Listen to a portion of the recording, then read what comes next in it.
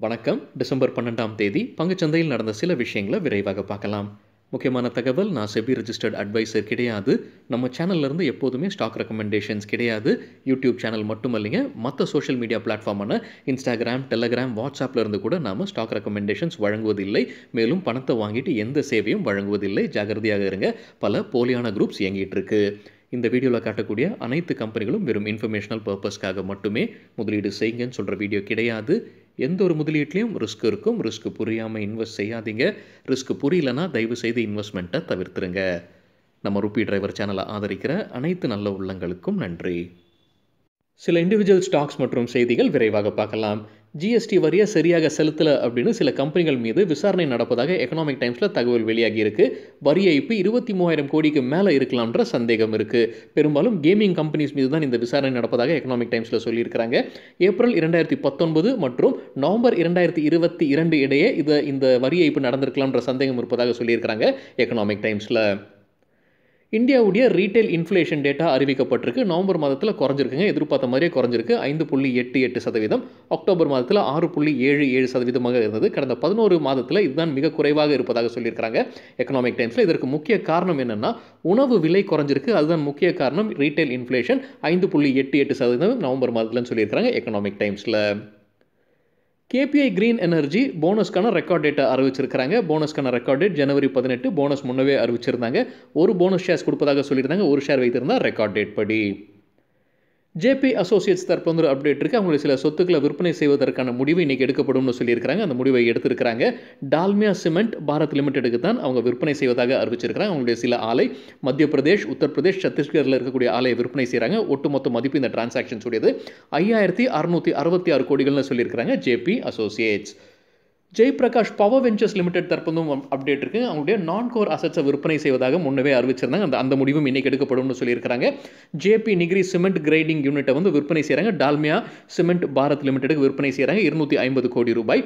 முன்ன நம்ம செய்தி பார்த்துருந்தோம் இல்லை ஜேபி அசோசியேட்ஸ் ஐயாயிரத்தி அறுநூற்றி அறுபத்தி ஆறு கோடி ரூபாய் டிரான்சாக்ஷன் அதில் இந்த இருநூற்றி ஐம்பது கோடியும் அடங்கும் அப்படின்றது என்னுடைய புரிதல். கியூபிட் லிமிடெட் தரப்பு வந்து அப்டேட் இருக்குது கம்பெனிக்கு ஒரு புது ஆர்டர் கிடச்சிருக்கு. யுனைடெட் நேஷன்ஸ் பாப்புலேஷன் ஃபண்டு கிட்டேருந்து ஒரு ஆர்டர் கிடச்சிருக்கு. ஆர்டருடைய மதிப்பு ஐந்து புள்ளி ஏழு ஐந்து கோடிகள். ஃபியூஷன் மைக்ரோ ஃபினான்ஸ் லிமிடெடுக்கு இக்ரா கொடுத்துருக்கிற கிரெடிட் ரேட்டிங்கை அறிவிச்சிருக்காங்க அறுநூத்தி ஒன்பது புள்ளி ஐந்து கோடி மதிப்பிற்கான நான் கன்வெர்டபிள் டிபென்ச்சர்ஸ்க்கு அப்கிரேட் பண்ணியிருக்காங்க ஏ மைனஸ்லேருந்து ஏஆக உயர்த்தியிருக்கிறாங்க.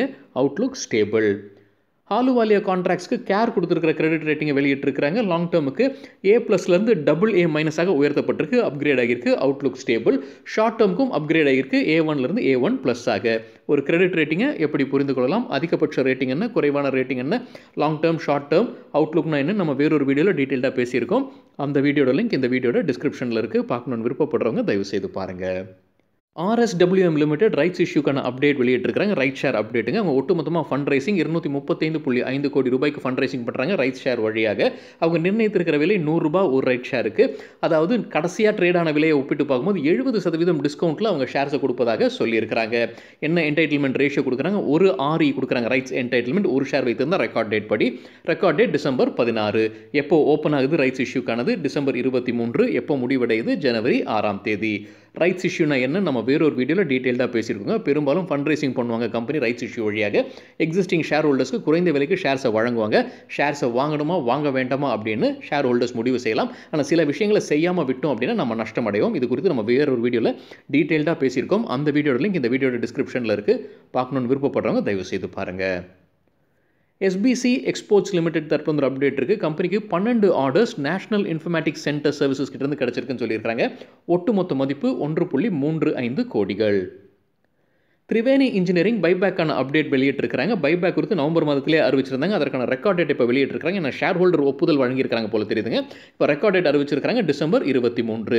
ரெக்கார்ட் டேட்னா என்ன? ஒரு கம்பெனி டிவிடெண்ட் பைபேக் போனஸ் அறிவிச்சாங்கன்னா எப்போ உள்ளார நம்ம ஷேர்ஸை வாங்கினா எலிஜிபிளாக இருப்போம்? எப்போ விற்பனை செய்தாலும் எலிஜிபிளாக இருப்போம் நம்ம வேறொரு வீடியோவில் டீட்டெயில்டாக பேசியிருக்கோம். அந்த வீடியோட லிங்க் இந்த வீடியோட டிஸ்கிரிப்ஷனில் இருக்குது ட்ரிவேணி இன்ஜினியரிங்கோட பைபேக் வந்து டெண்டர் ஆஃபர் ரூட் வழியாகத்தான் பண்ணுறாங்க அவங்க நிர்ணயித்திருக்கிற விலை முந்நூற்றி ஐம்பது ரூபாய் எட்நூறு கோடி ரூபாய் இதற்காக செலவு செய்கிறாங்க பைபேக்னா என்ன டெண்டர் ஆஃபர் ரூட்னா என்ன நம்ம வேறொரு வீடியோவில் டீட்டெயிலாக பேசியிருக்கோம். அந்த வீடியோட லிங்க்கும் இந்த வீடியோட டிஸ்கிரிப்ஷனில் இருக்குது காட்ஃப்ரே ஃபிலிப்ஸ் இந்தியா லிமிடெட் கம்பெனியுடைய ஷேர்ஸை ஜூபிட்டர் இந்தியா ஃபண்ட் விற்பனை செய்திருக்கிறாங்க. இருபத்தி ஐயாயிரத்தி எட்நூற்றி தொண்ணூற்றி ஒரு ஈக்விட்டி ஷேர்ஸை விற்பனை செய்திருக்கிறாங்க. டிசம்பர் எட்டாம் தேதி அவங்களுடைய ஸ்டேக்கை குறைக்கிறாங்க. ஐந்து புள்ளி ஒன்பது ஒன்று சதவீதத்திலிருந்து ஐந்து புள்ளி எட்டு ஆறு சதவீதமாக குறைச்சிருக்கிறாங்க. கமா ஹோல்டிங்ஸ் லிமிடெட் பைபேக் அறிவிச்சிருக்கிறாங்க. முப்பத்தி நான்காயிரத்தி ஐநூறு எக்விட்டி ஷேர்ஸை திரும்ப பெறாங்க. இது ஒட்டுமொத்த எக்விட்டி ஷேர்ஸில் வெறும் புள்ளி ஐந்து மூன்று சதவீதம் மட்டுமே. டெண்டர் ஆஃபர் ரூட் வழியாகத்தான் இந்த பைபேக்கை பண்ணுறாங்க நிர்ணயித்திருக்கிற விலை பதினான்காயிரத்தி ஐநூறு ரூபாய் பைபேக்கு ஸோ கடைசியாக ட்ரேட் ஆகிட்டு இருக்கிற விலையிலேருந்து ஒப்பிட்டு பார்க்கும்போது ஐந்து புள்ளி இரண்டு சதவீதம் ப்ரீமியமில் அவங்க செட் பண்ணியிருக்கிறாங்க விலையை. ஒட்டுமொத்தமாக அவங்க செலவு செய்ய போகிறது ஐம்பது கோடிகள் இந்த பைபேக்கு ரெக்கார்டட் பின்னர் அறிவிக்கப்படும்னு சொல்லியிருக்கிறாங்க. Kama holdings limited. ICICI bank fund raising பண்ண போகிறதாக அறிவிச்சிருக்கிறாங்க. லாங் டேர்ம் பாண்ட்ஸ் வழியாக ஐயாயிரம் கோடி ரூபாய் ஃபண்ட் ரைசிங் பண்ணுறாங்க ப்ரைவேட் பிளேஸ்மெண்ட் வழியாக இந்த பாண்ட்ஸ் வந்து ஏழு ஆண்டிற்கான பாண்ட்ஸ் இது. இவங்க கொடுக்கக்கூடிய வட்டி கூப்பன் வந்து ஏழு புள்ளி ஆறு மூன்று சதவீதம் ஆண்டிற்கு.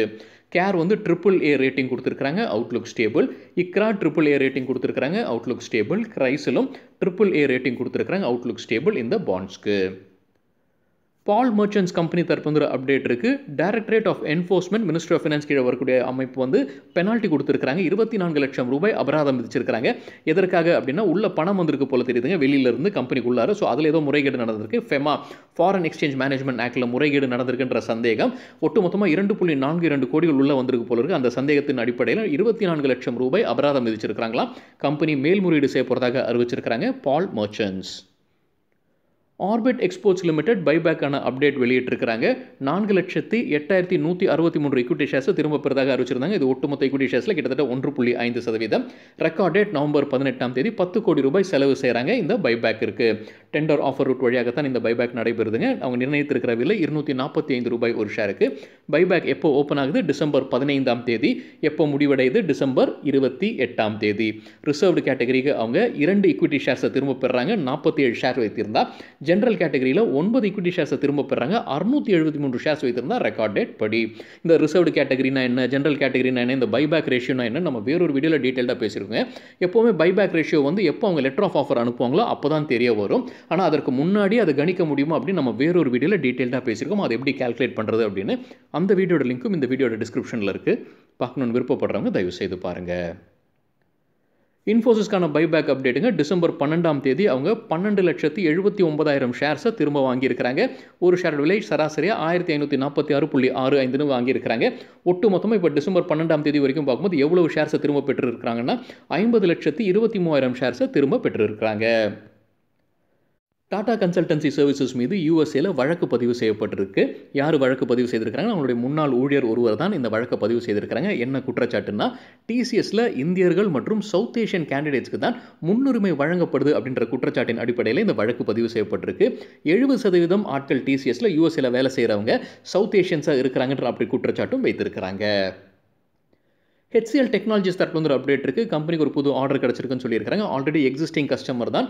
மாந்தலே இன்டர்நேஷனல் சுவிட்சர்லாந்து நம்ம கேட்பரிஸ் சாக்லேட்டை வைத்திருக்கக்கூடிய நிறுவனம் நினைக்கிறாங்க. ஆரியோ கேட்பரிஸ் சாக்லேட் டேங் போன்ற பிராண்ட்ஸ் வைத்திருக்கிற நிறுவனம் அவங்க கிட்ட இருந்து ஒரு ஆர்டர் கிடச்சிருக்குன்னு சொல்லியிருக்காங்க ஹெச்சிஎல் டெக்னாலஜிஸ் முன்னவே அவங்க கஸ்டமர் தான். இப்போ அந்த ஆர்டர் மறுபடியும் கிடச்சிருக்குன்னு சொல்லியிருக்காங்க ஹெச்சிஎல் டெக்னாலஜிஸ் சரிங்க. இதுதான் சில விஷயங்கள் என்னுடைய பார்வைக்கு எட்டியது. நன்றி. வணக்கம்.